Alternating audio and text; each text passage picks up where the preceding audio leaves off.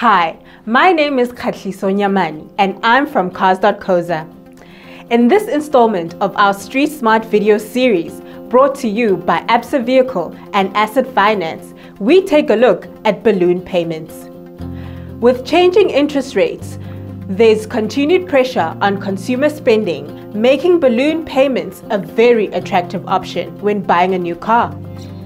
The number of customers that have taken up balloon payments along with extended vehicle finance terms has been on an upward trend in the past few years. Available data indicates that customers who have refinanced two or three times with a large balloon amount are at an increased risk of defaulting on their payment, which defeats the purpose of taking up the balloon in the first place. We ask ABSA's Sarvas Naidoo and CMH's Joel Chetty what needs to be considered before taking up a balloon payment on your next car. What is a balloon payment? A balloon payment is a lump sum payment that is due to the financier at the end of the loan term. It reduces the repayment and makes the loan more affordable. What common pitfalls should one be mindful of when including a balloon payment as a part of your vehicle finance loan? Well, Kaliso, you'll continue to pay interest on the total loan amount outstanding and will still be liable for payment of the balloon amount at the end of the finance term. You may end up paying more interest and fees with the balloon than without. The declining value of the vehicle may leave you with a huge gap between the outstanding value of the loan and the market value of the vehicle.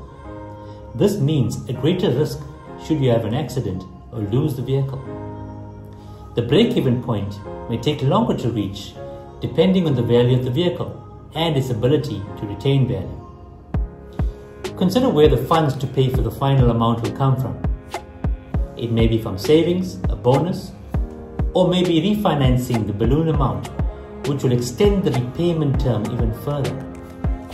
Extending the repayment terms mean we have the same risk of having an outstanding balance which is higher than the actual value of your car.